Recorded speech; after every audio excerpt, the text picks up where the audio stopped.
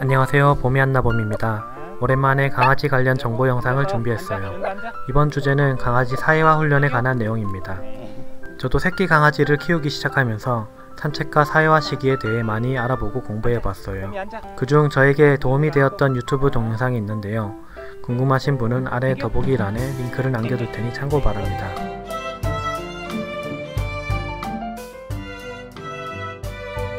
먼저 사회화란 강아지가 인간 세상에서 긍정적으로 살아가기 위해 여러가지 많은 경험들을 시켜주는 과정이라고 할 수 있습니다. 그런데 많은 보호자분들께서 강아지들에게 굉장히 중요한 이 사회화 시기라는 것을 모르고 계시는 것 같아요. 혹은 알더라도 사회화를 단순히 사람들이나 다른 강아지들과 잘 어울리는 사교성 정도로만 아시는 분들이 계시는데요. 사회화란 단순히 그런 사교성을 넘어서 이 세상을 살아가기 위한 적응에 대한 훈련이랍니다. 가끔 집 밖에 나가면 보호자 옆에만 붙어 있고 주변 강아지나 사람들, 주변 환경에 민감한 강아지를 볼 수 있는데요. 이런 강아지를 보면 사회화 훈련이 잘 되지 않은 것 같아 안타까울 때가 있습니다. 사회화 시기를 어떻게 보느냐에 따라 강아지가 커서 다양한 상황에 잘 대처하면서 살아갈 수 있도록 합니다. 사회화가 강아지 견생, 평생을 좌우할 수 있기 때문에 정말 중요한 시기입니다. 봄이야 실탄다니 맞아 맞아. 왜 이리 겁이 많아? 고비 거부당했다. 설명하는 곳마다 조금씩 다르긴 하지만 보통 12주에서 18주 사이를 사회화 시기라고 합니다. 이 시기 동안 이 세상은 이렇게 돌아가는구나 하고 인식을 하는 거죠. 이 시기에는 강아지들이 두려움보다는 호기심으로 모든 주변 정보들을 흡수하는 시기입니다. 하지만 사회화 시기가 지난 뒤 강아지가 겪어보지 못한 새로운 일들을 접하게 되면 그런 상황들을 두려워하고 접근하기 힘들어할 수 있습니다. 이것이 추후에 문제 행동으로 이어지기도 합니다. 강아지는 늑대의 후손이라는 건 다들 아시죠? 만약 야생 늑대로 태어나서 주변에서 겪을 수 있는 환경이라면 12주에서 18주라면 충분한 시간이 될 수 있겠죠. 그렇지만 사람들과 함께 살아가는 도시 환경은 그런 야생 환경과는 다릅니다. 하루하루가 새롭고 주변 환경들이 계속해서 바뀌고 있죠.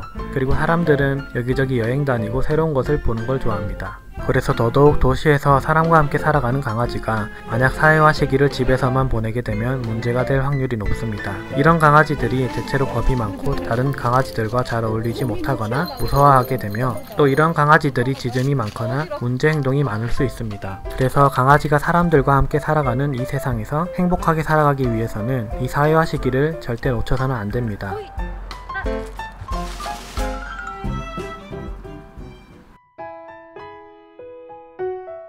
그렇다면 구체적으로 어떻게 해야 될까요?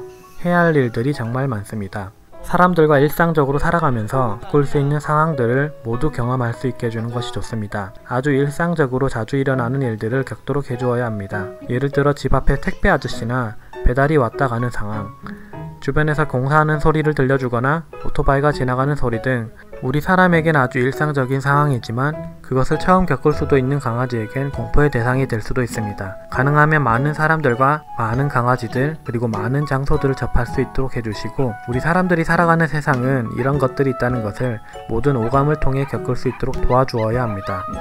12에서 18주라면 약 6주간의 기간인데 이 기간 동안만큼은 다른 훈련도 좋지만 사회화 훈련이 우선시 되어야 합니다. 사회화 훈련 때 열심히 애견 카페를 다니시는 분들도 계시는데요. 애견 카페도 경우에 따라서는 좋을 수도 있지만 강아지가 바글바글한 애견 카페에서 많은 강아지들에게 갑자기 둘러싸이는 경험을 한 새끼 강아지에게는 오히려 안 좋은 기억을 줄 수도 있습니다. 그래서 제 생각에는 강아지 사회화 훈련의 가장 좋은 훈련은 바로 산책입니다. 예상치 않은 불특정한 환경을 접하기에는 산책만큼 좋은 게 없답니다.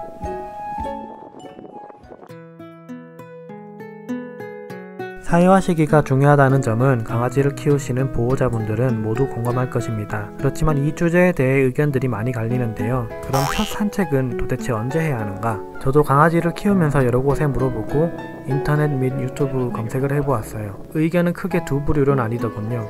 첫 번째는 3차 접종 이후에 산책을 해야 한다. 두 번째는 5차 접종이 모두 끝나고 산책을 해야 한다. 두 가지에는 장단점이 존재합니다. 3차 접종이 끝난 시기라면 한창 사회화 시기일 때일 겁니다. 그래서 이때 산책을 한다면 많은 경험들을 해볼 수 있기 때문에 강아지 사회화 훈련에 좋죠. 그치만 아직 면역력이 갖춰져 있지 않은 강아지들에게는 건강에 위험이 될 수 있는 부분들이 분명 있습니다. 우리나라에서 특히 무분별하게 번식되어 태어난 강아지라면 건강과 면역에 문제가 있을 수 있기 때문에 더 건강에 신경 쓰는 문화가 생기는 것 같아요. 다음으로 5차 접종이 끝난 시기라면 사회화 시기가 이미 끝났거나 거의 끝나갈 무렵입니다. 이때부터 산책을 한다고 하면 강아지들이 뒤늦게 처음 겪어보는 일들이 많기 때문에 익숙해지기 쉽지 않고 추후에 무서워 도전하기를 힘들어할 수 있습니다. 그렇지만 5차 접종을 마쳤기 때문에 면역상 크게 문제가 될 것이 없을 것입니다. 선택은 전적으로 보호자님들의 선택이라고 볼 수 있습니다. 무엇을 우선에 두냐에 따라 다르겠죠. 어, 나는 건강상 문제가 생기더라도 사회화 훈련이 우선이다 라고 생각하시는 보호자님들이라면 3차 접종 후에 적극 산책시키길 권장합니다. 하지만 나는 사회화 교육도 좋지만 건강한 게 최고다 라고 생각하시는 보호자님들이라면 5차 접종 후 산책을 해주세요. 하지만 제 생각에는 강아지를 너무 집에만 있게 하는 것보다는 적어도 그냥 안고서라도 주변을 볼 수 있도록 해주면 좋을 것 같습니다. 이런 말도 있습니다. 3차 접종 후 산책을 해서 건강상 문제로 강아지가 죽을 확률보다 사회화 시기를 놓쳐서 추후에 문제의 행동이 발생해 안락사로 죽을 확률이 높다. 저는 건강상 문제가 생기더라도 평생 문제 행동을 가지고 있는 불행한 강아지로 키우고 싶진 않았습니다. 강아지의 견생을 밝고 긍정적으로 살아가게 해주기 위해서는 무엇보다 사회화 훈련이 우선이라고 생각합니다. 그래서 저는 3차 접종 후 산책, 애견 카페, 주변 사람들 등 많은 환경에 노출시켰어요. 산책은 거의 매일같이 하면서 다양한 강아지들을 만났고요. 그리고 지금은 사회성이 아주 좋은 강아지 보미가 되었답니다.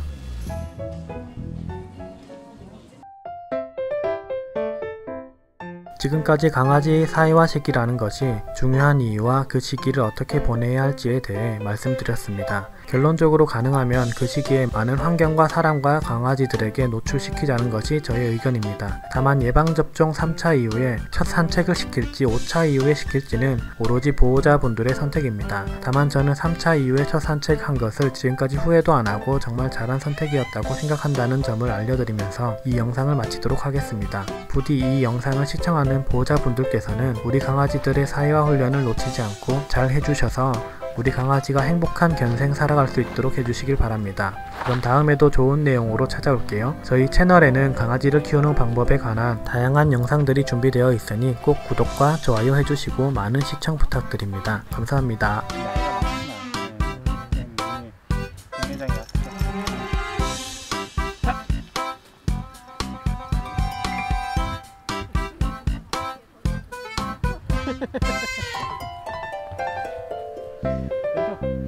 왔어. 왼쪽,